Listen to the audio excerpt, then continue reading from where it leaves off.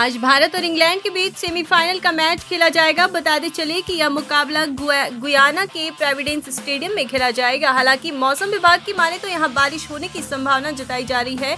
बता दें कि अगर आज यह मैच बारिश में रेड होती है तो टीम इंडिया को सबसे बड़ा फ़ायदा होने वाला है और इंग्लैंड को बड़ा नुकसान, क्योंकि आज अगर यह मैच रद्द होती है तो इंडिया सीधे फाइनल में प्रवेश करेगी। मौसम विभाग की माने तो गायन में सुबह मैच के दौरान 70 प्रतिशत, बारिश और 28 प्रतिशत तूफ़ान की संभावना जताई जा रही है। इस बीच यहाँ का तापमान 31 डिग्री सेल्सियस के आसपास भी बताया जा रहा है।